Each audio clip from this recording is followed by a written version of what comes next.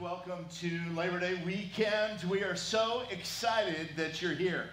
Uh, you know, when I was a young pastor, I hated Labor Day, July 4th, Memorial Day, all the holidays right around summer because you knew, hey, it's low attendance. And uh, once I was in ministry for a while, I tried to get younger associate pastors to, we, we would designate someone Pastor Holiday and they preached on all those days, right? And uh, well, uh, I am, I, I, I, guess I've turned the corner, and now in my 50s, um, I see rest and recovery and refreshment through a different lens, right? And uh, I understand that that too is part of God's plan for us, right? He was the one that created the principle of Sabbath that there's a time to be away. And so uh, the, the vocabulary that we frame around that here at Bay Life is simply this. If you're away, resting, recuperating, refreshing with your family, then be away. Don't think about us. But if you're in town, be at Bay Life right? Because we want to gather when we're available to be with one another. It is so precious. So, for those that are away, we are so thankful for them. And for those of you that came, we are so thankful for you. And I happen to believe that God puts the people in the room uh, on a particular Sunday for particular reasons. Maybe there's someone here that you were supposed to run into, someone here that you were supposed to meet for the very first time, someone that you needed to encourage in particular, or maybe there's something from the message that God wants specifically for you today. Whatever it is, I am excited to see God's will fulfilled right here this morning. Would you pray with me as we kick things off this morning? Father, thank you for today. Thank you, Lord, that for so many, this is going to be a weekend of refreshment and encouragement and restoration as people gather with families in various places. And, uh, but Father, for us that are here this morning, we pray that our spirit too would be refreshed and that we would be rejuvenated by the Holy Spirit of God. Thank you for meeting us here, God. And Father, I pray that as we open your word, that you would, as you always do, faithfully proclaim it to our hearts through the indwelling presence of the Holy Spirit. Father, we pray all of this in Jesus' name. Amen.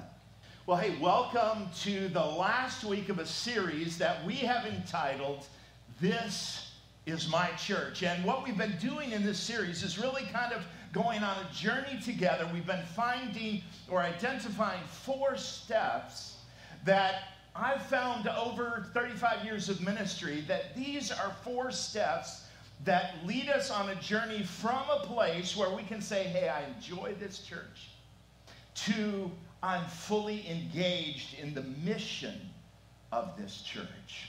That's what our heart is for every one of us. That we would be able to say, This is my church. So, when can a person say that? When do we get far enough in the journey that we can really say, This is my church? Well, uh, in this series, we've laid out these four steps. And in week one, we said, We can say, This is my church when I invest and invite, when I invest relationally and then leverage that to invite them into a gospel conversation and a gospel community like the one here at Bay Life. So if you're in that group of people who is at some point throughout the year, you're investing and inviting.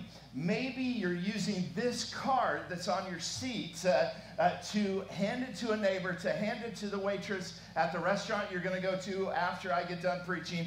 Uh, wh- whenever it is, maybe God has laid someone in particular on your heart. You're just going to give them this. Uh, say, hey, we would, we'd love to have you with us uh, at Bay Life this next week. But uh, we can say, hey, this is my church when I'm investing and inviting. Then in week two, uh, we said, uh, we can say, this is my church when we serve on a team, when we serve on a dream team to help fulfill the mission of Bay Life Church.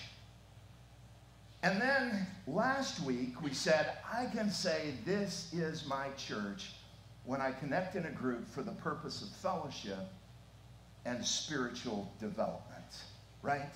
That I've made myself accountable to a group of my fellow Bay Lifers and we're doing life together and we're being real with one another together and we're opening God's Word together and we are becoming fully formed followers of Jesus together. We talked about that one two punch of large group on the weekend where we're getting valuable information and then small group where we're processing that and we're moving forward in our desire to be more like Jesus. And as Pastor Mike pointed out, you have this here. Uh, one of the values in our groups ministry is this. Uh, we're a multi generational church and we like multi generational groups. And so, three or four of these groups um, really focus on that mentoring process. So that there will be people in that group that look like me and are my age, and then there will be people that be like my kids' age and that generation who are raising young families. And uh, what my kids have told me, uh, because I just assumed when they all moved down here that they would just want groups that were just young couples. And they're like, oh my heavens, no. Uh, we're old enough to know what we don't know. And we want to be in with some mentor couples, but not you, mom, not you, dad, but we'd like some other mentor couples from this church. And so Scott and Ann Gardner and Bethany and Steve Cook, one of, one of our daughters, uh, they formed a group, and that group has just blown up, and they are doing so well in that mentoring uh, zone. And, and so other groups, uh, Pastor Mike and his wife Sarah are going to kind of lead a group in that vein. And Diane and I are kind of restarting a brand new group, and we're going to go after that. And Stanley and Myrna and Tom and Diane Lacopola are leading a group, and they're going to mentor some young couples. And uh, we just think that's so valuable. And so if you're my age and you think you've got maybe something to say to a younger couple, or if you're a younger couple looking for some mentoring relationships, there are great opportunities for that. Uh, what you see on the card is all of our, what we call Bay Life groups. These are kind of uh, Bay Life specific groups. And then we have another set of groups that are Bay Life community groups, which are really open to the public as well. And those are men's groups and women's groups. And uh, we have about four of those, and including our Bay Life moms. And just pray for that because that's kind of blown up. We kind of went public with that, and we got 30 or 40 registrations online from people that don't even come here, young moms that are looking for community. So pray for the ladies leading that ministry. Um, but God is doing some amazing things in our groups ministry. And so you ought to be able to say, This is my church. If you said, Hey, we connect in a group, we make that a priority. Well, week four, what's the last step where I can say, This is my church when and it's this when we give generously to support the mission of Bay Life Church. Uh, this is where it maybe gets a little quiet in the room. Uh, regardless of what church, uh, of the five churches that I've pastored, uh, there, there are different perspectives on this. And I'll talk to some people and they'll go, well, that's probably my least favorite topic to hear preached about a giving message. So I want to give you a little insight into the way your pastor sees this. I think this is one of the disciplines of the Christian life that I get most excited about leading people into. Why do I feel that way? Because it's a game changer. The grace of giving, the generosity piece is a total game changer. I have seen it produce some of the most significant and rapid change in the lives of people when their heart is opened with the generosity discipline, with the grace of giving. I love teaching on this because it has given me and so many that I know a front row seat to see the power of God unleashed in your life and through your life into the lives of others. I love teaching on this because generosity has a comprehensive effect on anything your money touches, which is almost everything in your life. Okay? There's a reason why Jesus taught on this topic more than almost any other topic, including talking about heaven and hell. He talked about the grace of giving and about the generosity piece more than any of those other things. In our family, and we kind of have some specific vocabulary around things that Diane and I really value and care about in teaching our seven kids. And the way that we would talk about generosity is this Uh, generosity is not something that we've got to do. Generosity is something that we get to do, right? Uh, let me give my personal testimony on this. I would say this generosity has changed my life. Totally. It's changed my life. It has given me a vision of what the power of God looks like. I've had a front row seat to see some of the coolest things ever. It has changed every facet of my life for the better. When Diane and I were dating, it was kind of, we were weird. It was kind of our first date, and uh, uh, where we had committed to each other and we knew, hey, this is the one for me. And uh, so we sat down and we're at a restaurant. Both of us took a napkin and we wrote out the top five goals that we had for our kids, that we would want this for our kids. And I know that's kind of crazy, but maybe God already knew that we are going to have seven and, and 10 plus grandkids and all that sort of stuff. And we we're going to spend the bulk of our life raising kids. And so we wrote out these five things. Uh, there was only one matching item. Both of us had put as number one on our list of five things we wanted for our kids generosity. We wanted our kids to be generous. Now, we wanted that for completely different reasons. Diane wanted our kids to be generous because she had come from a family that was fairly affluent, but could get a, a dime out of every penny. I mean, they were just so, it was, it was frugal to a place that was unhealthy, right? And she wanted us to raise generous kids because she had not grown up in a generous home. And I wanted to raise generous kids because I had grown up in a home that had very little money, but we were radically generous with everything that we had. And so, coming from two totally different perspectives, we knew this was going to be a key for our family. Generosity is huge. Let, let me talk about generosity at Bay Life for a moment. Uh, we've had our doors open as Bay Life Church for 18 months, almost exactly 18 months. And I get so excited when I think about the generosity of this place. Generosity and the grace of giving has been one of kind of the silent disciplines here at Bay Life. The people of Bay Life, by and large, are very generous. And so I get so excited as a pastor uh, because I know what that means for us as a church. I know what God will do and can do. And I get excited about teaching about this 18 months in because I believe God's about to do some amazing things at Bay Life. The train's about to leave the station. We're about to unleash our second full season of ministry, and more people are going to get saved, and more people are going to get discipled, and we're going to send more teams out to globally to the mission field, and, and so much is going to happen. And I don't want to leave anyone behind.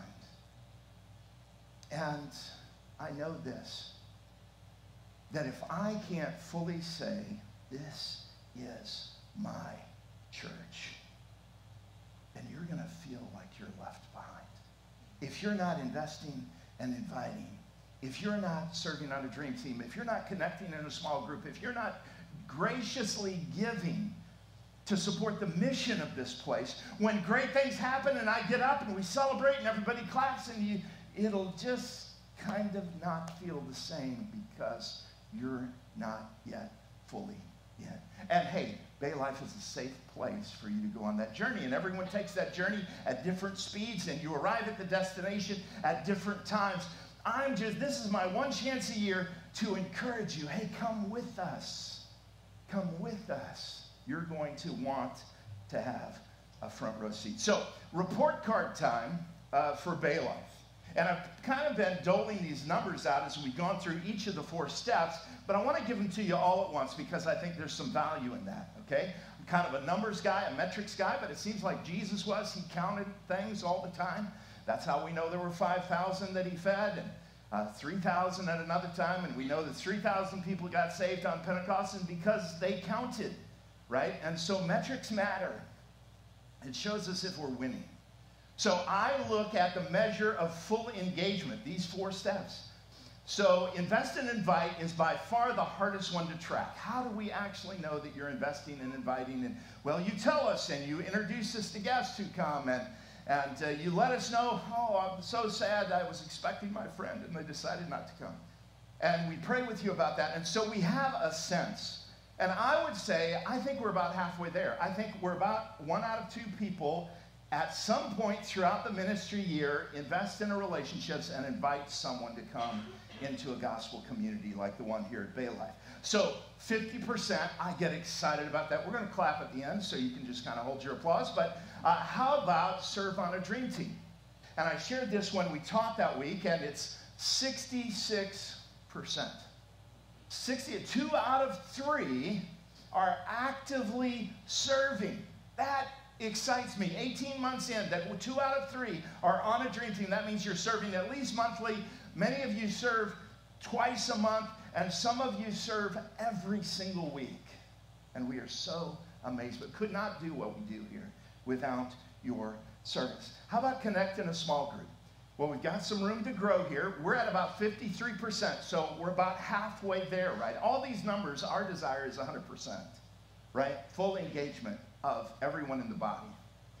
But uh, in a small group, 53%, that means that some of us need to go home and take this card and actually pray, actually have a conversation uh, with our spouse, actually have a conversation with our boss to say, you know what, Mondays I can't work late anymore, or Wednesdays I can't work late anymore. I've made a priority to be in community with people at my local church, and I've, I've got to carve that time out. Okay? Um, how about giving? Uh, so encouraged by this. Of those who have given something, you gave a penny over the last year, we're at 79%. Almost 8 out of 10 people. Now, can we just thank God for what's going on in our church? That is so encouraging.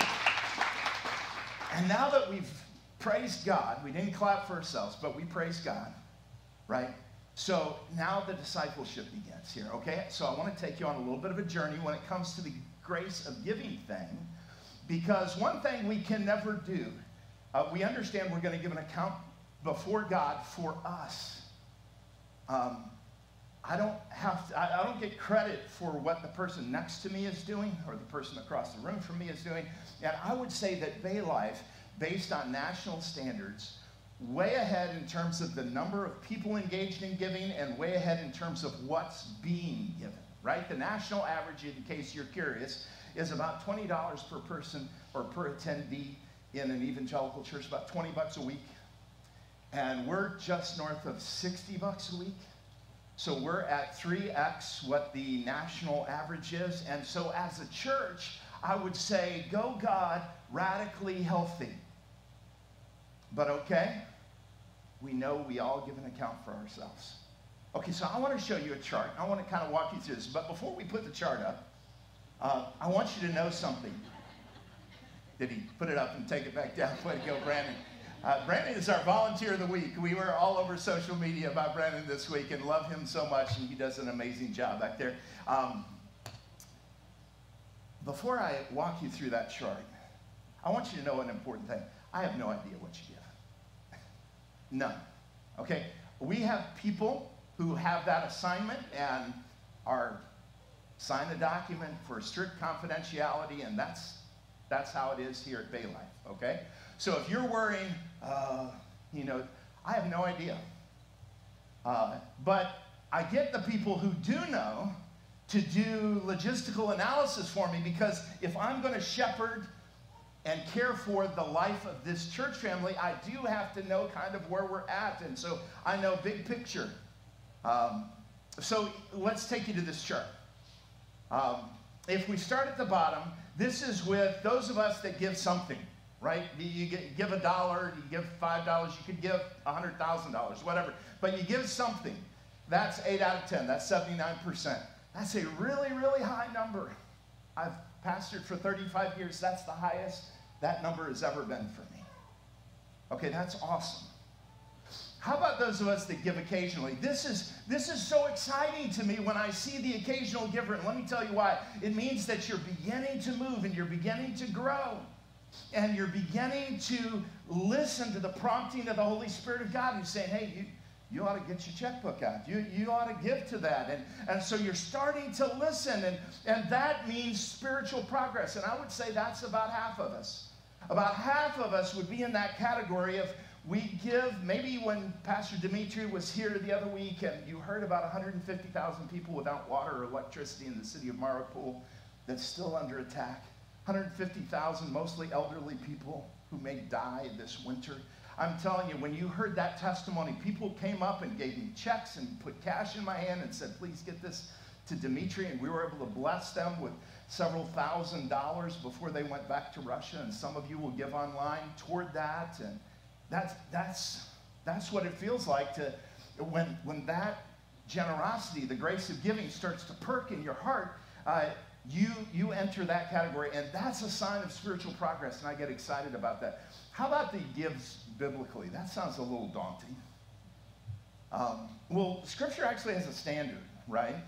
And uh, uh, the standard of giving, uh, I would summarize in three words. It's this uh, it's priority. Biblical giving is a priority giving. Scripture talks all the time about first fruits. This comes ahead of my mortgage, it comes ahead of my light bill, it comes ahead of whatever, fill in the blank. It's a priority in my life that I realize that everything I have comes from the Lord. And so giving a portion back to Him, that's first thing, right? First thing. It's priority. It's proportional. Everywhere in Scripture that talks about biblical giving, it talks about proportional. It's a percentage of income, right? And I'm not here to make some big statement or do some long teaching on what that percentage is. I, I will say that I grew up with kind of the standard of the tithe, that's a dime out of every dollar. I remember my parents handed out our allowance on Saturday night. Why? So that we could prepare our tithe for Sunday morning. You know what my opening allowance was? $1 a week. Do you think my parents gave me paper money? Not a chance. How does a kid turn paper money into a tithe? How could I give out of a single dollar bill my tithe? So they gave it to me, guess what? In what denomination? They gave it to me in dimes. I got 10 dimes. And okay, Brian, did you prepare your. And what that meant in our house is you took one of the 10 dimes and you put it on your dresser, and that went in your pocket. And then at lunch, guess what my pastor father asked? Did you give your tithe? Wow. I'm talking six, seven years old with early training in the Pipping household, right? Um, and it was just that, that was it. We, we came to understand it was proportional. And then it's progressive. This is the really, really cool part about the grace of giving is as God prospers us, as I, I by the way, thank you, Bay Life Church. I no longer make $1 a week. And uh, nor can I afford to work for $1 a week. I'll just say that. But uh, you know what? As God has prospered us and given us more, and trusted us with more, guess what? We've been able to give more. I, it, it, a lot of us have accountability partners for a variety of reasons. I actually have an accountability partner in giving. It's another pastor friend of mine. And uh, when we do our taxes, this is how we keep accountability. When we do our taxes on the page where we report our charitable giving, we take a picture and send it to the other person. Why do we do that? Because we want to encourage one another in the grace of giving. Right? And I want to grow and I want to be progress. I want to be pushed to do more. So, so cool. That's biblical giving. And then beyond that is that progressive part, right? It's the gives generously. It's the above and beyond. That, yes, I do what, what God requires, but then beyond that, I'm listening to the voice of the Holy Spirit. And there's so many people here that are at that level, and I'm so thankful for you. And I want to say this I am thankful for everyone on every step of this journey. See, me getting to talk to you about this is not about shame and guilt and heaviness. it's about celebration. And the celebration gets louder as the journey continues, right? Now, we've had a long family chat. I want to get into God's Word because I'm going to unleash five principles, rapid fire, that I think will change wherever you are on that chart. It will accelerate your growth. Okay? I want you to go with me to 2 Corinthians chapter 9 so you can follow along in your YouVersion uh, or your app or just follow along on the screens here. Uh, but I want you to know this if no pastor has ever planted this truth about giving in your life, let me be the first. Generosity is something that God wants for you, not from you. Do you hear that? Generosity is something God wants for you, not from you. Okay? Let's dive in. 2 Corinthians 9, beginning in verse 10. I want to read these first two verses. He, this is God, who supplies seed to the sower. The sower is you and me, right? And bread for food will supply and multiply your seed for sowing and increase the harvest of your righteousness.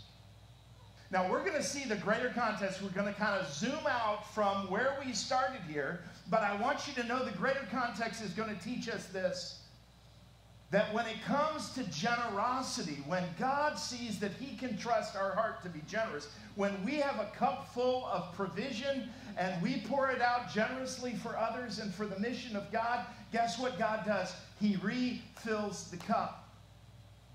And He trusts us with bigger cups. And hopefully one day you get to that place where you're pouring it out with a bucket God will do that. The God who provides the bread that you need to eat, the shelter, the food, the clothing, uh, all that you need, He will multiply your seed for sowing and increase the harvest of your righteousness if you will learn to unleash generosity in your life. Now, I told you I'm going to unleash these five principles and we're going to do it pretty rapid fire. But before I get there, I want to answer the question why? Why would you be generous? It's not because Bay Life has a budget, or Bay Life has bills, or we have salaries to be paid. It's not, and none of those reasons. Let, the psalmist David in Psalm 36 gives us the why. I, I want to read that to you. The psalmist David said this How precious is your steadfast love. He's talking to God. The only reason we would be generous is because he first loved us. Because of his love for us. That is the only reason. Don't give another dime if it is not for this reason. Because he first loved us. How precious is your steadfast love, oh God the children of mankind. Who's among the children of mankind? We could all raise our hand, right? We're part of humanity. The children of mankind take refuge in the shadow of your wings. It is his provision of love and his protection of our life that we are sheltered under the wings of the Almighty. What a beautiful picture. They feast on the abundance of your house. Sometimes, because things are scarce at our house, we think that things are scarce in God's house. Not true.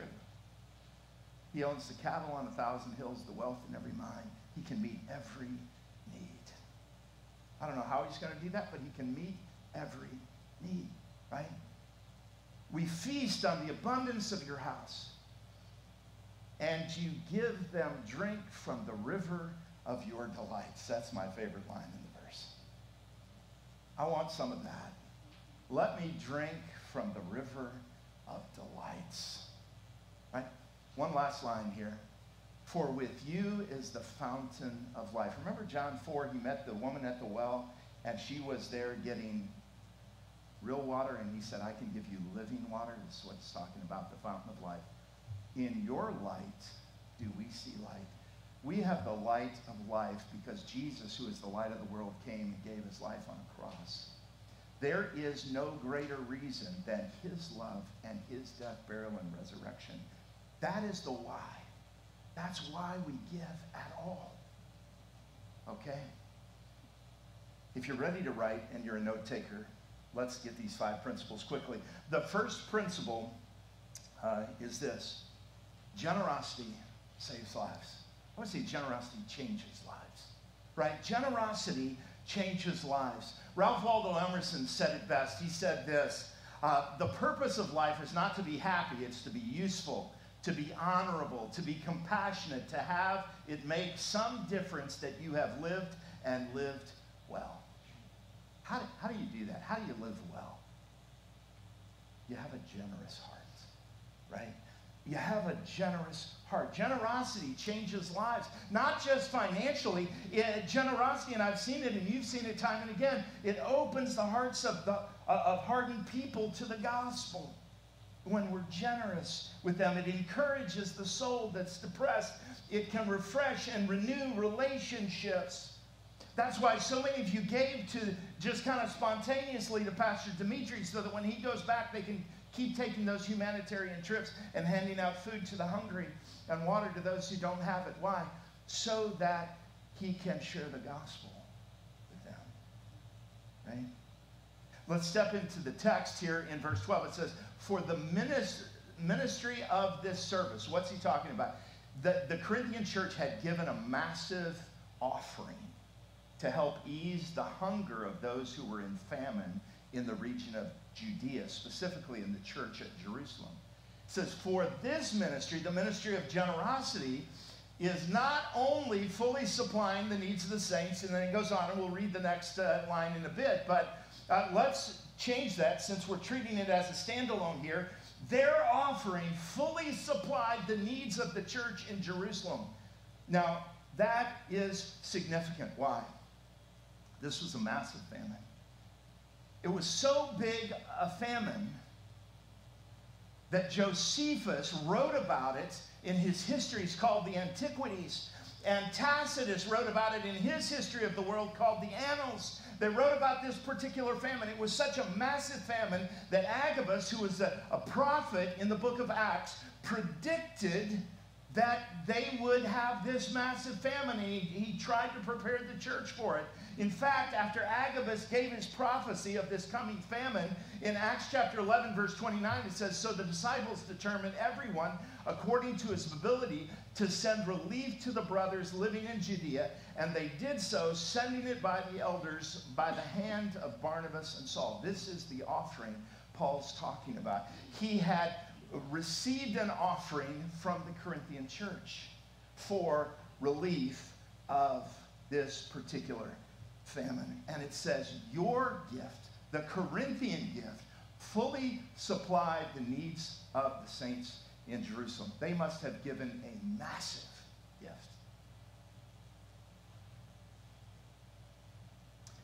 You and I, if we have generous hearts, will find ourselves, there will be times in our lives where we'll have a front row seat to see lives change forever because of your generosity. Uh, Tom and Diane LaCoppola, great friends of ours, they're not here today. They're traveling. It's Labor Day weekend. They're up in the Carolinas.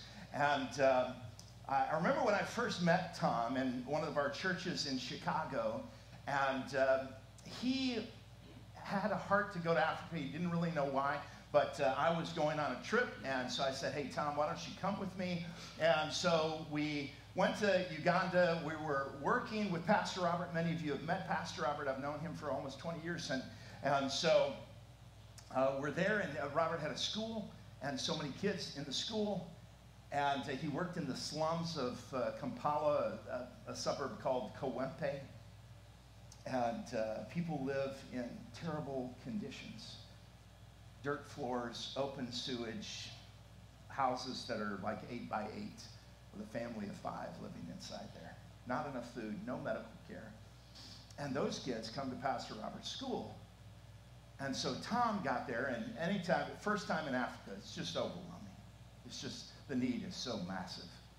And, um, and Tom, prompting of the Holy Spirit, he responded. He, he said, I wonder how much it would cost in US dollars to change the life of one of these kids. I said, Well, let's go ask.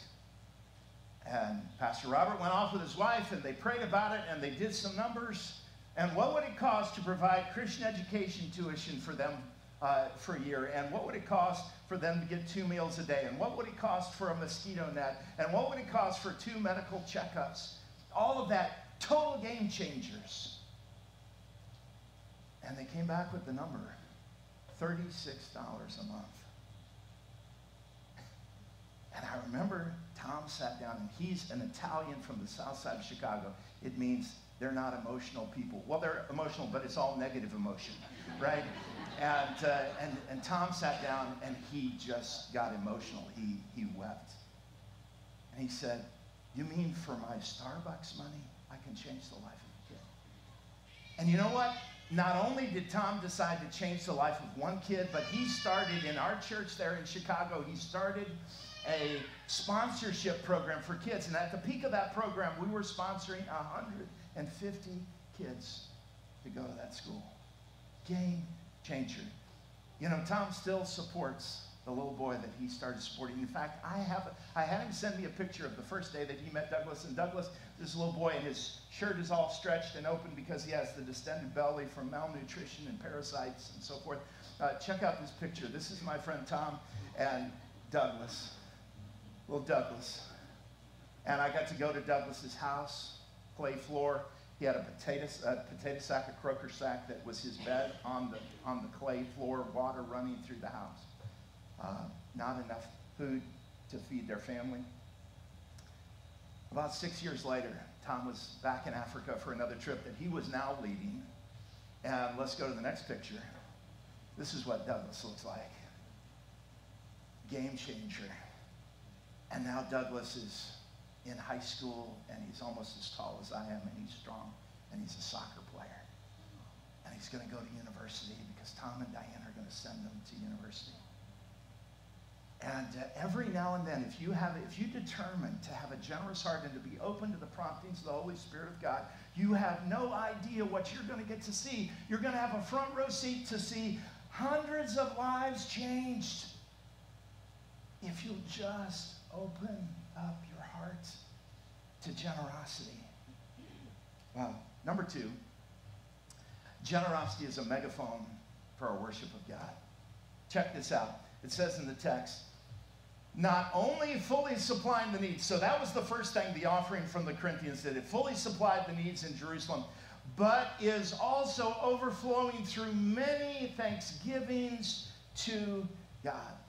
You put a microphone or a megaphone in the hand of every person that you bless with generosity because the first thing they want to do is praise God. There's a great command about how we're all supposed to praise God. It's in Psalm 72. Check it out. It says, May his name endure forever, his fame continue as long as the sun. May people be blessed in him. All nations call him blessed. You want to be part of all nations calling him blessed? Be a generous person. Generosity is a megaphone. Would you allow me just 60 seconds to praise God because of your generosity? You know, the first time that I saw your generosity at work was the 30 or 40 people that were that would eventually become the launch team for Bay Life. You didn't pick us. I'm, I'm sorry for that. There was not even a discussion. It was just Paul Smith showed up and said, Here's your new pastor. And uh, no one ran out screaming out of the room or whatever. The first time I saw your generosity is when you opened your hearts to us and made a home for us in your hearts. And you know what? Our kids saw that, and they've all kind of moved down here. Well, almost all of them. And, uh, and that's, we will never forget that. We're so blessed by that. I want to praise God because you, through serving in our four ministry, have touched over 750 people in. This little church has touched the lives of 750 people in our community, and the number grows all the time. There is a, a family in Mexico, and we showed you this picture not too many months ago, because of the generosity of this place and the people who went, have a brand new two bedroom house in Mexico free of charge given to them because the people of this church are generous. There are refugees and orphans in the Ukraine and Russia who had food and clothing, who were cared for, and their suffering was alleviated because of your generosity. Because of your generosity, six students in Uganda went to university and they would not have had that opportunity. Because of your generosity, 15 foster families had Christmas for their foster kids in the Bay areas because of your generosity. May, may we be generous so that people will be given a megaphone to praise and worship God. Number three, generosity is a proof of obedience to the gospel. Check out verse 13. It says this Because of the proof given by this ministry, what ministry? The ministry of generosity. Because of the proof given by this ministry, they will glorify God for your obedience to your confession of the gospel of Christ and the liberality of your contribution to them and to all. Generosity is living, tangible proof that we are committed to the message of the gospel. What is the message of the gospel? It is the greatest message of generosity ever written. That God loved us so much that while we were yet sinners, he sent his son, who gave his life on a cross, was buried, and rose again on the third day to offer eternal life to people who were sinful, people who had rejected him. There is no greater message of generosity than this for God so loved the world that he gave. Right? And when we are generous, we give living proof, as the text says, that we are ministers of the gospel of Jesus Christ. Why do we do this? Because of Jesus. That's why our shirts, when we go out and serve in the community, do not say Bay Life Church. They say for Baldwin so that people will ask, what does that mean? We are for you because God is for you. We're giving because God has given so much to us. That's the only reason we do this. It's the only reason that we're generous. At least it's the best reason. Principle number four generosity builds affection for one another. This is my favorite of the five. Generosity builds affection. You want to be a part of a loving church? Any church you've ever been in that was loving was generous. I'm just saying, they go together. It comes from the same place an open heart, right? The Apostle Paul says how the people in Jerusalem had responded. Okay? Let's check out the text. It says, while, while they also, that's the Jerusalem church, by prayer on your behalf, yearn for you because of the surpassing grace of God in you. I want to pull three words out real quick. They prayed for you. The, the regular Greek word for prayer is proseuchomai. You don't need to know that, except that word is not used here. It's deesis is the word. It's a special prayer for God to supply the need of the other person. It's a very specific word. He's saying, they are praying that God would replace the money that you gave so that you can be generous again. Is that so cool? It says they yearn for you. That's a very intense word that says they have deep affection. They owe you their lives. That's what it means when it says they yearn for you. And then it talks about because of the surpassing grace of God in you. Notice it didn't say because of your surpassing grace for them. It doesn't come from us. What we're giving to them, God gave to us, right? The surpassing grace of God in you. That word surpassing is an athletic term. It means to throw it beyond the boundary. Uh, think about a home run into the second deck. That's how God's grace had shown up in the lives of the Corinthians, that they threw it out of the park. I can't wait for us as a church to have that opportunity. It's coming. God's going to put us in the path of something that's going to need all that we have and more. And we're going to get a front row seat to see it change lives forever. Last one, and we're done. Generosity reflects the character of Christ. Uh, verse 15, last one in the paragraph. Thanks be to God for what? For his indescribable gift. Wow. We're back to the why. There's only one reason why. Because of his indescribable gift to you and to me. There's an old, old commentator. His last name is Windisch. Uh, he said this God's exquisite generosity cannot be adequately captured in human words. And then he says this, and this is the part you may have heard. He says, We are never more like Christ than when we are being generous. Wow. Um, I am so blessed others have been generous to me. I could take the next 10 minutes and just tell you about how people have been generous, how they just threw it out of the park, generous to us when we needed it. I think of when we so desperately wanted our kids to have a great Christian school education, and we were in the city of Chicago and was very necessary. And, uh, didn't have the money. I remember my parents, who had less money than we did, said, We will go without whatever we have to go without in order to help you put your kids in school. I think of the time when we were moved of God to open our hearts and adopt two kids from Russia. And we found out it was going to cost $50,000. And I think total in savings, we had eight grand. And I can tell you that at the end of that time, 18 months, God had paid every bill.